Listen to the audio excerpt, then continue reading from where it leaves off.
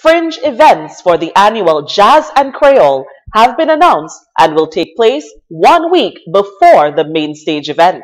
Seven Fringe partners have partnered with the Discover Dominica Authority for the 8th Jazz and Creole Festival. The events will commence on May 28th to June 3rd, 2017 and the Fringe events will kick off once again on May 28th with the annual Pan and Jazz Soiree at the Evergreen Hotel in Castle Comfort.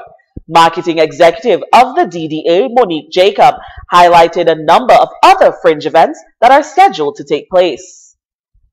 Urban Garden Cafe on the 31st of May. Anchorage Hotel, who is here with us today on the 1st of June the Fort Young Hotel was also going to do a little discussion today on also on the 2nd of June, sorry. The Shams Hotel also here with us on the 2nd of June. On the 3rd of June, we have the Atlantic View Resort and Spa. Um, we have Riverstone Bar and Grill on the... The Fringe events will feature local and foreign artists alike. The Anchorage Hotel and we are excited to announce that on the 1st of June, Thursday the 1st of June, we are having our World Sound and Power Jazz and Creole edition featuring um, NJ Trio from Barbados. We also have Ban Akayo from the Kalinago territory, as well as DJ Sly and some surprise guest artists.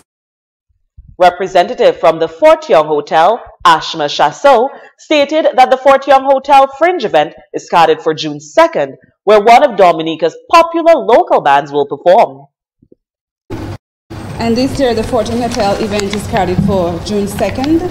And we have the, um, one of our popular local bands. We have the Fanatic Band um, with Lyric, who is a very young, um, amazing upcoming singer. And that is from 7 um, p.m. until 12 a.m. And Jazz and Creole will be held on Sunday, June 4th, 2017 at the Cabrits National Park from 2 p.m.